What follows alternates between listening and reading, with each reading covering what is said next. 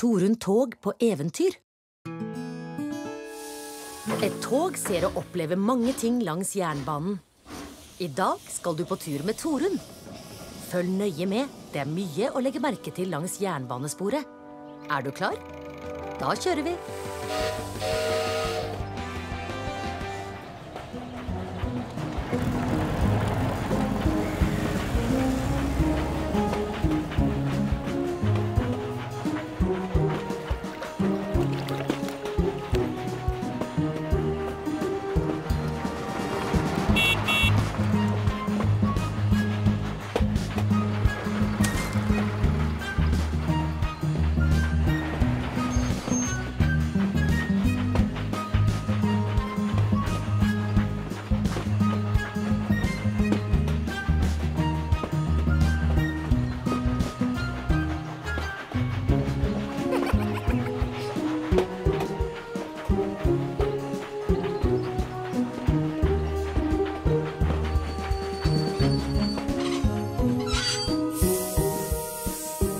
Da er turen over.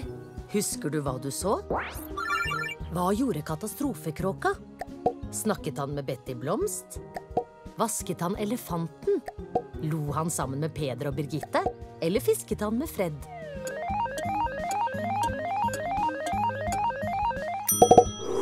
Flott!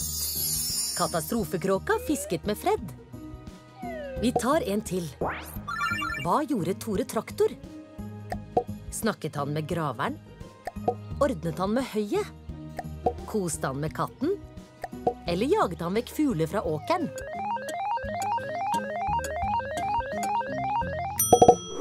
Helt riktig. Tore ordnet med høyet. Torunn sier takk for eventyret. Godt jobbet.